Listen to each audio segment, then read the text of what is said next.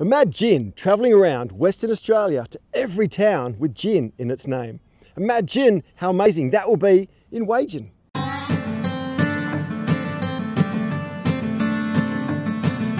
So Wagin is the emu's watering hole. It's Bart's resting place. It's the most greatest, most safest place on earth to live. Wagin Woolorama, a baby cousin of the Perth Royal Show. So it's an agricultural show that has basically everything and everything. It makes the town vibrant. We get about 20 to 30,000 people apparently across two days in March. Just such a big economic boost for our town. So I have recently opened my passion shop Love and Collective and it's about empowering others and women especially to opening their own passions but also showcasing their talents and homewares and things like that in my place of business. A very open and accessible place, very friendly.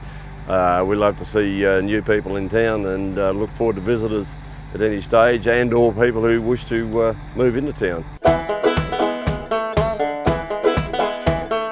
Some of the uh, opposing football teams from the neighbouring towns have always envied uh, what we have in Wagin with Bart the Ram.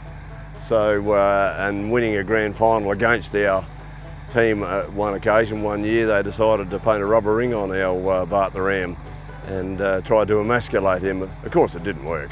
He needs a girlfriend. He's been there a long time with uh, nobody to talk to, or yeah, poor fella. Yes, we do need um, to partner him up. I'm sure he's ready and raring to go. And I think that he actually needs to have a long lost love that's waiting for him in the paddock.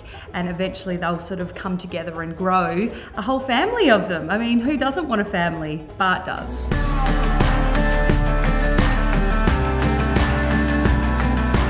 The Wagin bush is so diverse, it's really difficult to identify the plants without their flowers. Lucky for us, a group of friendly locals have stepped in to help us to identify the botanicals we're going to use in our Wagin gin.